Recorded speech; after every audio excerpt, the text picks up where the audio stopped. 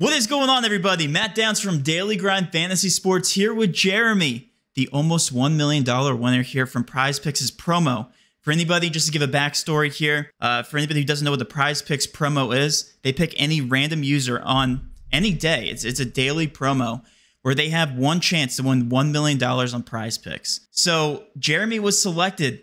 Uh, this was what day was it, Jeremy? It was Friday. Last Friday, he was selected for the uh, the person to go possibly six of six to win one million dollars. So my first question for you, Jeremy, how are you feeling? I'm feeling good. It, uh, I don't think it's really sunk in quite yet, but I definitely feel good about it. Happy. That's amazing, man. So I, I must give backstory here. Uh-huh. You DM'd me. You you DM'd me first, and you said, "Hey, man, you sent me a screenshot. I'm gonna actually probably put the screenshot here, just uh, Yeah, with with no context after we we uh, do the interview. But you asked me, you said, "Dude, is this a scam?" Because in your promo, in your promo, I guess it was the the promo little uh, amount. It said one million dollars.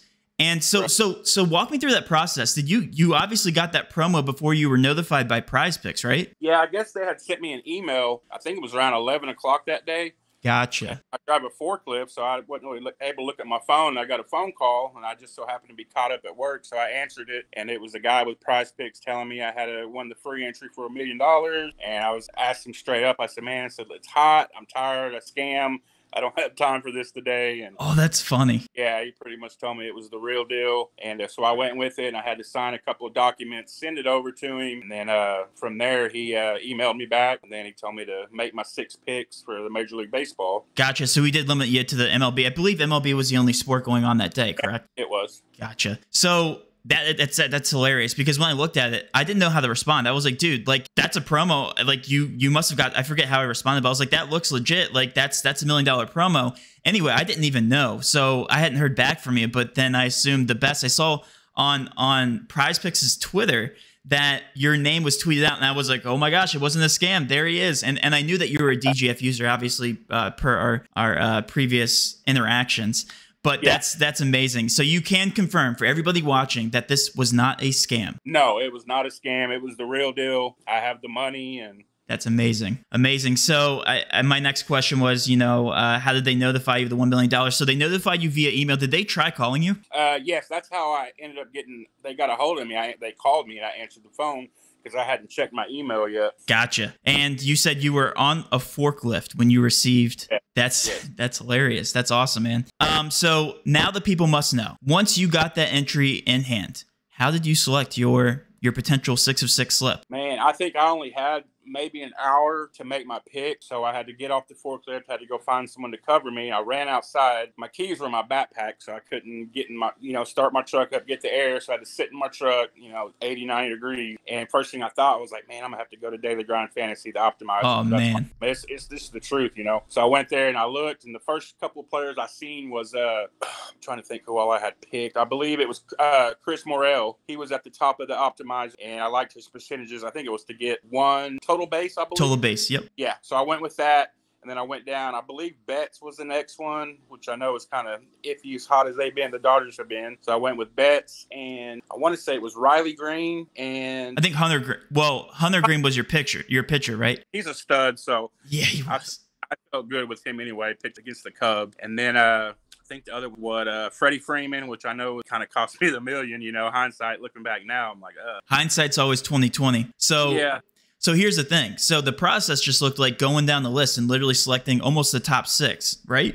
Yeah, yeah. You know, I I, I always talk about on Twitter the uh, process of actually going down the list and selecting. A lot of people tell me it's BS, but you literally did that and you hit five to six. Literally, Now- yeah. The only difference between you and the regular user is that you had the potential to make eighty thousand dollars when hitting five or six. People just double up, right? So it isn't as Right. cool when they're doing that. But yeah, I mean that's that's amazing to hear. So my next question, man, I hate to be that guy, but you were one point five points away from one million dollars. Does that ever eat you up inside, or is it just like are you grateful with the eighty thousand dollars? I'm definitely very grateful with the 80 grand, but I started thinking about the last couple of days and I've rewatched, I think it was his last little blooper to center field. And I was just like, hmm like center fielder could have got dirty, could have caught it. I, you know, Yeah. but what it is, I'm happy the 80k. I mean, nothing like this has ever happened to me in my life. Probably the best thing that's ever happened to me.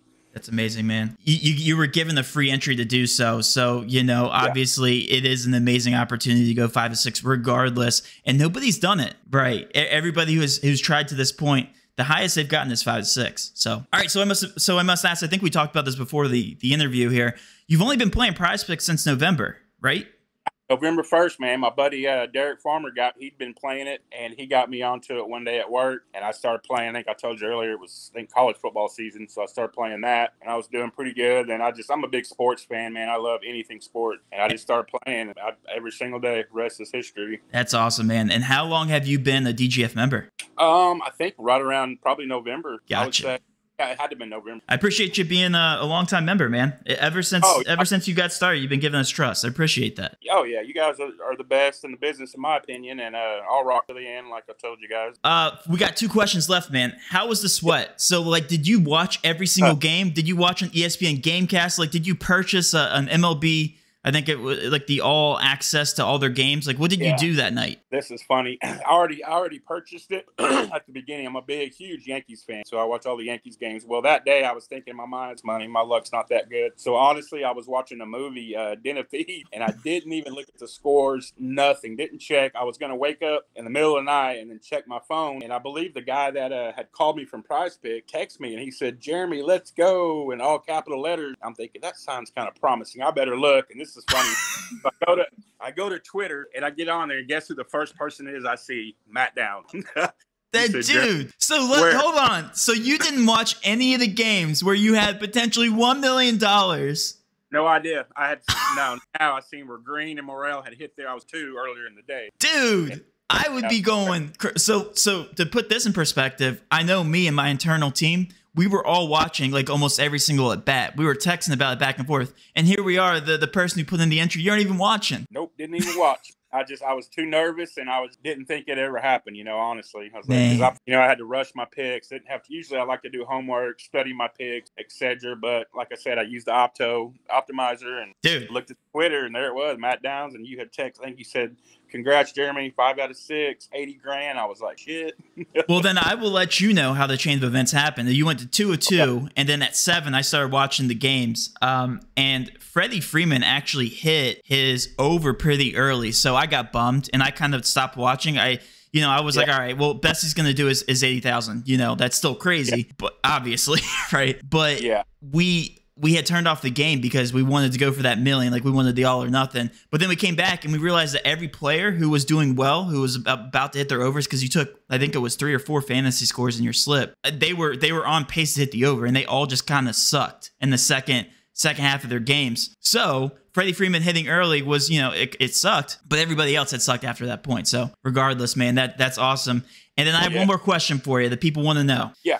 Are you being safe with your money? What are you doing? You buying a new car? You buying a new expensive watch? You know, honestly, none of that. Uh, I'm happy where I'm at. I love my place. You know, my house. I love my vehicle. Uh, I'll probably uh, buy my mom whatever she wants. Take uh, care of her foremost. You know, man. and nieces and nephews. Other than that, I'm just gonna save the money. Dude, that was probably the most humble thing you could have said into the camera. That that's amazing, Jeremy. Appreciate you. I appreciate you taking the time out of this day to, to do this interview. And man, hopefully we can we can go for another million dollar winner at some point in the future, right? Who knows? Oh, oh yeah. I appreciate you guys, man. If it wasn't for the optimizer, you know, you guys never would have happened. So I owe really all the credit to you guys. So I appreciate it. Really appreciate you, Jeremy. Again, thank you so much. And man, I hope you have a great rest of your day. Thanks, Matt. You too, man.